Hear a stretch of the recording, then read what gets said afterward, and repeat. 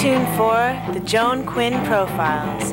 As an editor for Andy Warhol's interview, the Los Angeles Herald Examiner, LA Style, and Detour magazines, Joan covered the social set, the Hollywood hotshots, the international art scene, the mysteries of food, the excitement of travel, and the fabulous world of fashion.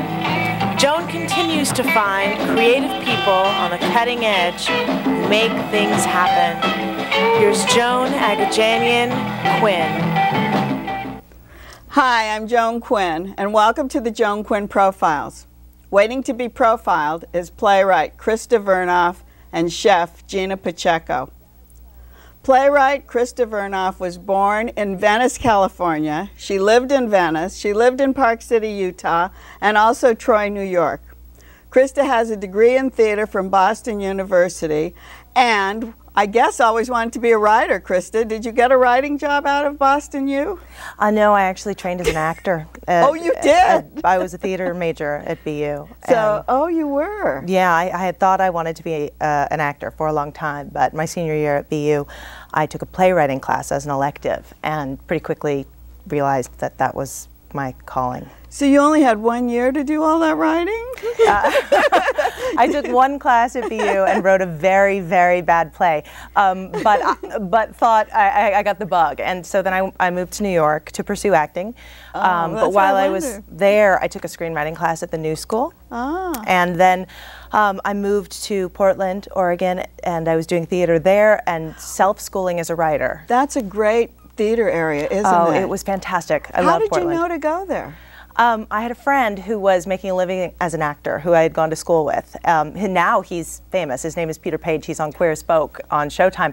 Uh, but at the time, he we graduated BU, and uh, he had we'd both moved to New York, and he'd moved to Portland, and sort of said like, "There's a great theater scene here, and you can make a living." So I moved there. Oh. Even though I, I thought I wanted to be a writer, I, I, I was being told by my family that I probably was just afraid to be an actor, which made sense. I had always wanted to be an actor, and so you look like an actor. Well, thanks. Um, uh, so I, I, moved to Portland, and after I spent um, a year making a living almost entirely as an actor, I was still doing some singing waitressing over Christmas, but most of my money that year was made acting. I felt like I had proven that I could do that, and I knew that it wasn't where my heart was. I was I was running off stage every night in between scenes, writing in the dressing room. Oh. So I, it was time. I the last show I did, I closed the show and. Uh, packed up my car with my boyfriend at the time and drove down here. I put my headshots in storage. I never told anyone I was an actor. Is that right? Yeah. No, no one in Los Angeles knew that for a long so, time. So here you were in LA, and how'd you get into TV? Because you obviously got into Fox and ABC and NBC. Mm-hmm. I mean, you did a lot of. T- you've done a lot of TV writing. I, I continue to do TV writing. It's it's my main gig. Um, uh, I came down here to pursue TV writing. It was my specific oh, goal. You knew that. When I took that screenwriting class at the New School, I had been told by the teacher that I had an ear for dialogue, but but I.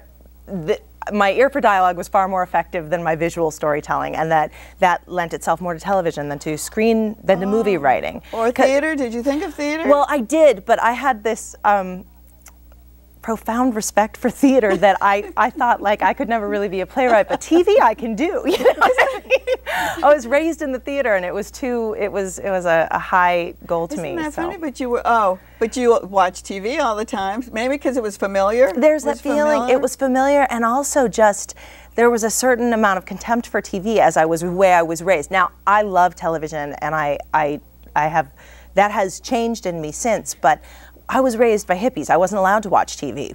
Theater, you know, oh, my mom was an actor. Oh. It was it was sort of like that is hard. TV, maybe I could do. I watched it. I thought I could write that. So um, I started writing TV. I, this is the play that we're here to talk about is my first play since that little play I wrote in college. But but tell us just a little bit. You did Time of Your Life for Fox. my first, my very first job was a freelance episode of Law and Order. Which oh, so you did was, Law and Order. You've done Wonderfalls. Yeah, I did Time of Your Life for Fox. Then I did well, I did three years on Charmed, Oh. and then I did uh, for the what WB. was that? Charmed.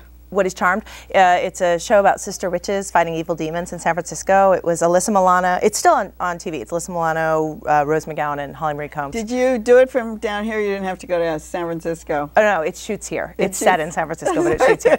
That was that was like I grew up on Charmed, is what I say. I spent three years on that show, and That's how. And w- were you actually writing full episodes, or were you group a group of you writing? Or? No, um, in TV there's a, there's a writer's room, but what we do is we work together to outline an episode or to break. We call it breaking a story, and then we each go off and write individual episodes on our own. So I wrote, I think over three years, I wrote 12 or 13 episodes So of that Charmed. was a lot. Yeah, yeah. Do you all get along when you do that? I mean, I mean, how could three people, four people, Eight doing- people, nine people, Eight- ten people. Yeah, Really? because you're doing 22 episodes in a season, and there's writing teams. Who, um, How do they know what episode most to of the time, you? you get along. how do they know what to give you? Well, you come in and you pitch. So at the beginning Oh, of the see. season, at Charmed anyway, you had to come in with five episode ideas and you pitch and uh, the showrunner who's the head writer in tv sort of would hear the pitches and say well that you know we're trying to do this emotional arc for the season and you know that Oh, episode might fall well as number three or so you sort of you come in with ideas and then he assigns you an episode number and then you run the room you sort of drive the room with everybody's assistance while you're breaking your story for that for that, time. episode. And then if And it's then my story on the board, I'm breaking it in the, with the team, and then I take it, I go off to write an outline, and then everybody starts working on the next episode together. And then by the time I'm done writing that one, I come back to the room, and the person who's writing the next one goes off to write. I so there's see. all there's a rotating It's a room. and then you help him when he comes back, or you help the next person. Yes, you're all you, all- You're you help each other I in, see. in in the story breaking stage. I see. Yeah. And then Grey's Anatomy. Grey's Anatomy is uh, a new show um, that's going to premiere on March uh, on ABC in March, and uh, it's a medical dramedy. You're doing. You're supervising producer That's along my with title. writer. What does that mean? Um, in television, there are eight levels of writer. So it starts with staff writer, and then it goes to story editor, executive story editor, to co-producer, producer, supervising producer, Oh, so co-executive producer. I'm a six. a co-executive producer and executive producer. So any of those titles that you see when you watch TV show, those are all the writers. That's the writing staff. That's the writing staff. So you start at writer You slash staff writer. I mean, you which start- you don't get credited at the front of the show on when you're a staff writer. You get your credit at the end. But but but, but it says writer, and then it's a slash, and it says all these other single things after it. Like No, you no. go writer, and it says supervising It, it doesn't say writer. No, Oh, it like my credit on say. Grey's Anatomy I see. is supervising producer on every episode, I see. except for the ones that I wrote, and then it'll say written by Krista Vernoff, and then I I'll have the supervising produ- producer see. credit as Oh, well. Oh God! It's very complicated. But you but you it's so important, isn't it? Your credit line. well, I yes, I. it's important in terms of your salary and, and I, I suppose the, your level of respect. Uh, I actually sold a pilot pitch to ABC this year because I'm sort of at the level where where I'm getting ready to sort of be creating my own shows. You can so. go yourself. I'm not a six anymore. I'm a I'm seven. I'm an eight. Actors like to be at 10, but no, me, I'm happy at six right now. Okay, but you'll be happier at 10. But you're happy now because you have a, a play on stage. I do. My first play. I'm, I'm very, very excited and more nervous this about is, it. This is so great. Me, my guitar, and Don Henley. Yes. So I thought it was a one woman show Yeah. talking about Don Henley. yeah, no, it's it, a lot of people think that. Um, oh, I meant to bring the postcard. I'd show you. It's a six-woman show. Uh, it's it's a show. Um, the title, the the Me, My Guitar, and Don Henley, just comes from one of the monologues in the play. One of the characters has a dream, and she's and in which she plays this Don Henley song and uh, ends World War III. So you know, thank, you know, World War III is over thanks to Me, My Guitar, and Don Henley. And it, it runs as a theme throughout the play. But what it's a, what the play is about is family. It's a play about my family. So it's very autobiographical. it's very autobiographical. It's the 60s hippies, Yeah. love chil- flower children. it's sort of about the fallout from that. It's sort of I had I, you know I've seen a lot of theater, a lot of movies, things like that about about the flower children, about that sort of era, but not so much about the children of the flower children, sort of what that was to be raised. So this is more like what the flower children sired. What- Yes, but that's I bet exactly. they're conservative. Are they conservative? The the mean, children of the flower yes. children. I would say that all, I mean I have you know in my there are five of us in my family. I have uh, I have um, three sisters and a brother, and um, none of us have the same two Oh, you parents. so, uh, well, no, my okay. Did that my, come from the uh, naked wedding? Tell us about the naked wedding. God. and then we can get into Um, this play. yeah, well, there's the naked wedding is mentioned in the play. Um, Oh, it is. Yeah, the uh, who told you about the naked wedding? Okay, my dad, who this play is actually centered in and around the hospital around my father's death. I lost my dad uh, three and a half years ago, and I, started writing this play shortly after. Um, my dad, when he married my stepmom, so I, I, when I was four years old, they had a naked wedding. Absolutely. I mean, really. Everybody nude, was no naked. clothes. No clothes. The minister, The my dad, too? my step. Well, it was like one of their friends who got like ordained. You know, like now you do it on the internet. I don't know how you did it back then, but it's the same Well, thing. was it like a nudist colony, or was No, it just it was flower just- children? Was it just hippiedom? It was just hippiedom. I mean, it was. I was born in um, 1971. Dad and Sable got married in 1975. Um, Oh, really? And you know, it was. I mean, I guess it was coming out of the. It, it was a little late for that, but yeah, I was just gonna say. seriously, my dad clung to the 60s. You know, through the 70s, the 80s, the 90s. He was. You know, they never let that So go. you have a lot of uh, information inside of your head, a lot of plays, huh? I, I guess so. I guess maybe this this one. Um, Did you Yeah. take this to the Taper New Works? Uh, no, I am just producing this on my own right now. Oh, you I'm, did. I so, am the. no. So this is just I- yeah. guts first. And It's- what's the name of the theater?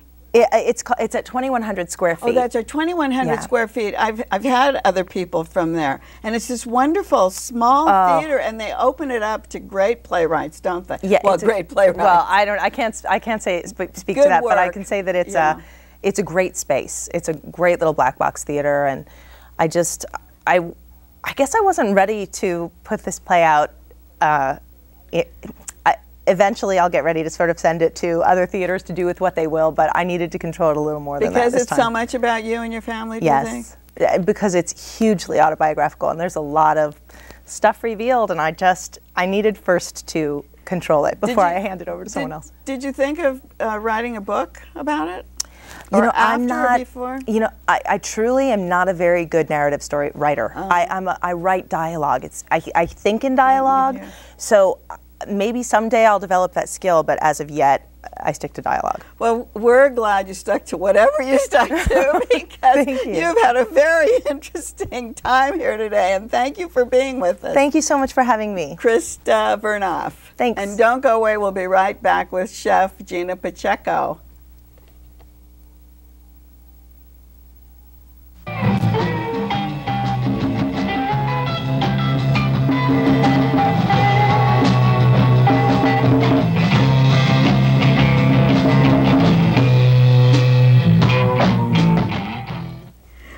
Joan Quinn, and welcome back to the Joan Quinn Profiles. We're here with Chef Gina Pacheco, who was born and raised in Mexico City.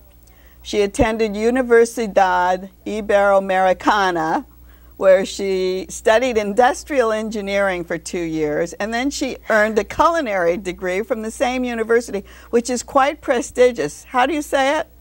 Universidad Iberoamericana. Oh, that's just what I said. Then she went on to study at the Culinary Institute in New York. Uh, and this is kind of interesting because your specialty was flavor dynamics. What does that mean? Uh, well, it's how to cook certain ingredients, how to bring out the flavor from them. They actually have a course in flavor dynamics. Yes. And then you also went on to food and wine dynamics. What is that? Yes. Is it the same? Well, it's basically how to combine wine and food. What goes well with certain Oh, wine, what types of food don't combine with wine, and that's interesting. I see, because it seemed like this was an, another kind of a class that I'd never heard of. And then you took cooking techniques. exactly. And is there something special about that? Uh, the cooking techniques? Uh, no, I think it was very basic. But it was funny because um, a lot of people, very well prepared people, take this class. So the people that I met in the class make it really interesting. I was working with the sous chef of the Pentagon. Oh, is that right? So- Why, so why do they take it? Just to learn new things? Well, yeah, I think they, they give you a little taste and a little samples of what it's on, um, what it's hot on the market. Oh, I see. So at that time it was mushrooms. you know, so we tried all the mushrooms available. and we tried uh, balsamic vinegar as well. And we tried a 50-year-old balsamic vinegar. Maybe it's not as hot right now, but it was. So they were bringing ago. those into the classes. Yes. Is that it? Yes. And how long do you spend? How how long is your stay at the Culinary Institute? Well, these classes are a week long. Oh, I see. So you each one of those was a week long. Yes. But then, are you learning? Are you still there, learning to cook and chop and do all that? Well, you watch a lot of food TV on your free time. You watch a lot of food TV. but uh, yeah, well, the class is eight eight hours long. Ah. Every day. I see. So it's a long, a long day. When you got your degree from the Culinary Institute of in Mexico, yeah. In Mexico, and you came here and mm -hmm. also studied. Then you went back to Mexico City. Exactly. And then, and, and when you were there, you started working with hotels. No, it was before. Oh, it was before you went. Yeah. Well, part of my the culinary program of my school uh, was to go and work in these hotels. Ah. So it was a training program, and it's great because oh. basically you go to each and every position that you can have in a hotel, in a culinary part. So I went to three different restaurants in at the Marriott, called, yeah, let's say in the Marriott. That was a very interesting part because it was opening. So I got there with a great, great, like the executive chef that just stays there for six months and then goes and open another Marriott. So, so, working with him was really good. So is that like it's like an internship then? Yes. More. Oh, I see. I see. So you were you did pastry, uh, you yes. did banquets. How did you know how to to work with the pastry chef? I actually I cheated a little bit because I love the pastry uh, station. So I did maybe two or three times my time in the pastry than in the other areas. You spent more time there? Yes. and um, and you had huge banquets, say from 500 to 2,000. Yes. And that's totally different than what's on your mind now, doing catering. Yes. Well, I do small, smaller things right now. Uh, I know. More delicate, much more. Um, I don't know. I focus a little bit more in the food and not, not in the big event as well. Could you ever go back to doing something like that? Well, I kind of overlook the things. I um, oh. coordinate big events. Then I worked with American Express, and with American Express, That's I coordinated big events. I was going to ask you. Uh, American Express was like 2,000 people yes, at a time. Yes, and that was great. A lot of organization is needed, and uh, I love organizing. But so what do you do? You get the people to come in? You get chefs to come in when you're organizing, or do you actually tell them what to do? Everything. Well, basically, I'm the contact between the client, that these are corporate clients, and uh, the purveyor or the hotel. So a lot of the things of the events we had them in hotels. So I went with the executive chef and we went over the menu and we had like radios to communicate between all of us. Where do you do all that preparation? I think nobody realizes that when you're preparing 2,000 um, uh, uh, plates, what do you do? Where yes. do you put them? Well, you need a, a kitchen, a setup kitchen, as big as the room that you're serving it. Is that right? Yes, as big as the as the banquet room? Mm -hmm. maybe a little bit smaller, but not very much smaller. And then they pile, don't they? They yes. have racks for yes. the. Yes, and there's like hot boxes that are connected to the light, so you can put a lot of plates and keep them warm until they're ready to go out. That's what the food, you mean they already have food on them? Yes. And they're, oh, I see. And you did the same thing at the Intercontinental Hotel? Yes. Was it the exact same kind of program? Uh, a little bit different because of the areas that I covered, but yeah, it was the same program than in the Marriott. It's different, uh, but different areas. One thing that I saw was um, uh, garde manger. Yeah. Is that a station? What is that? It's basically cold food preparation. So it's it's very what is basic. It called? It's salads, vinaigrettes, mayonnaise, um, basically that kind of food. And you prepare all the cold salads for all the displays for the buffets in the, all different restaurants. So, like let's say a specialty restaurant, like the French restaurant, their cold salad, uh, cold pasta salad, mm. they bring it from the garde manière, grand, um, I'm sorry, garde manière. Manger or Yeah, man- exactly. is it manger? I don't know. I didn't know if it was garde manger. Yeah, exactly. But So that's cold that's food. what it is. It's the cold food. Yes. Oh, I thought it was something you were guarding something in the kitchen and telling them what to do. No, no, no. So did you did you learn enough from that large scale and the hotel uh, work intern that you did there to open a restaurant? I basically learned that I didn't like working that big scales, so I went smaller and I opened a small restaurant uh, for 50 people capacity. Oh, it was that It was- small. Yes, very small. And it was in Mexico City. Mexico City. And what was it? Tell us about it. It was Northern Italian cuisine. At that moment, it was like the only Northern Italian restaurant in Mexico City, and it was like the big boom of the Northern Italian. So that's basically t- Tuscan food, risottos, a lot of um, mushrooms in the pastas, and um, I add a little bit of my ideas, like a pasta with tequila and chili. So you put a little Mexican touch. I was going to say, where did you learn about Italian food? School. Is and that right? Was school and life, and I Did you go to Italy? later? Later, but you had a, you had enough in you to open an Italian yes, restaurant. yes. I just loved Italian food. It was my passion, Italian food at that moment. So to, to put tequila in, what would you put tequila in? Your tomato sauce or your No, cream no, no, sauce? it was a cream sauce. In the cream sauce?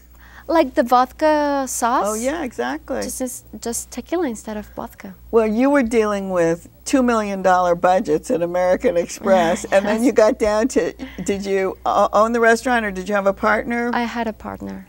and so you had to deal with little tiny budgets, right? But yeah, the restaurant, uh, I opened the restaurant before American Express. Oh, you did? Yes, and um, after working a year or so in the restaurant, um, then it was too small for me. So then I went big again to American Express. Uh, were you doing all the cooking at the restaurant? Yes, all of it. So isn't it really difficult because you're not very big and it's it's very strenuous work being in a kitchen all the time. It is. It, it's stressful. It is. Uh, but I had a good cooker, cook uh, You guys. had a staff. Yes, you do you, staff you have good. to find the people that you can work with in a little small Yeah, area. it was very small, very very small. So it, we were three in the kitchen, and uh, I think the kitchen was for one and a half, no more. Yes. So, but you did the we found a menu. You did the decor. yes, I hired even the waiters and the barmans and everyone.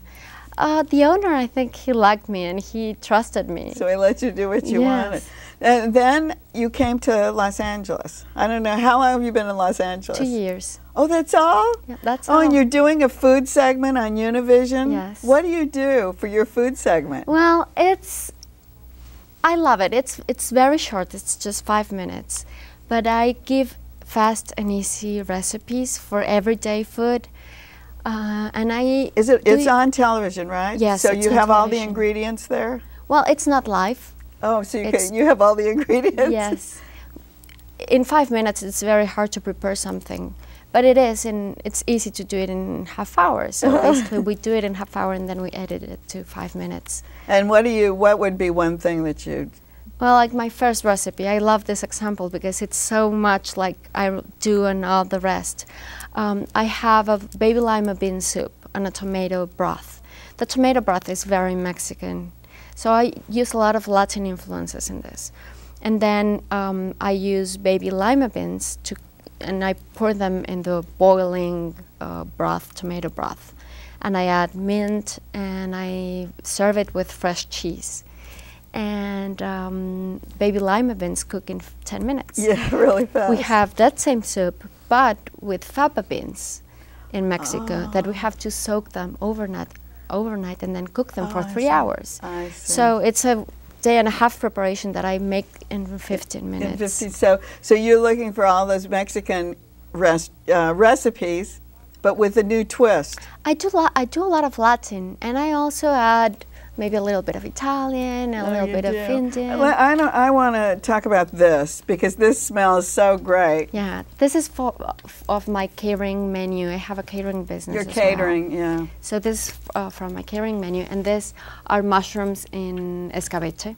Escabeche. So it's mushrooms, onion, chili because I took a piece, just a little touch of it, Yes. and my mouth was burning. But Well- it's delicious. What would you do with this? You make tacos with them. Oh, you you use tacos. tortillas, So and you, could make a taco with that them. and put it Uh-huh. inside. Okay. And then you have something over by you that I wanted to show. This is, This is chicken mole with uh, green beans and red rice. and what's mole?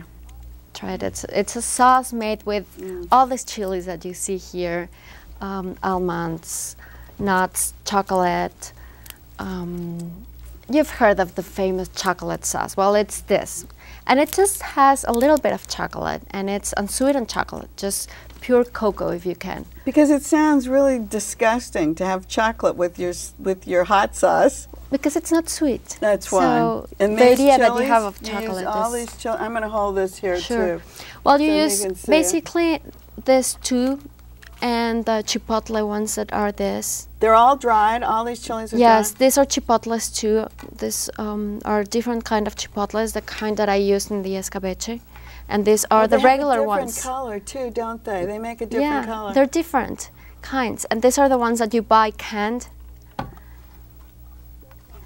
And, um, and they dry. They're dry. they're dry, so And to work with them, you have to first toast them Oh. or fry them.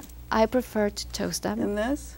Yeah, just toast Oh, them just toast it and that's in a, it. in a in a dry pan, and then put them in soak them in hot hot water for 30 minutes. okay, before we go, really quickly, the last great thing. I want to taste this one This too. This is a three milk cake, and it's three milk because it's just a vanilla cake and it's wet with uh, three milks. It's evaporated milk, condensed milk, and then milk, regular milk. Is that right? What's evaporated milk and condensed milk? Different? Evaporated, it's just concentrated milk. It's in a can. Basically, it's in a can, and uh, condensed milk as well. Condensed milk is sweetened. Oh, I see. So one's oh, they're both in cans, Yes. but one sweetened and one isn't. Yes. Oh, this was all so good and it smells so great. And I'm so glad you came to the to America to have your catering Yeah, business. well, I got married, and that's what brought me here, my husband. great. Thanks, Gina. thank you. And thank for you for watching the Joan Quinn Profiles. Keep writing to 777 South Figueroa, 44th floor, LA 917.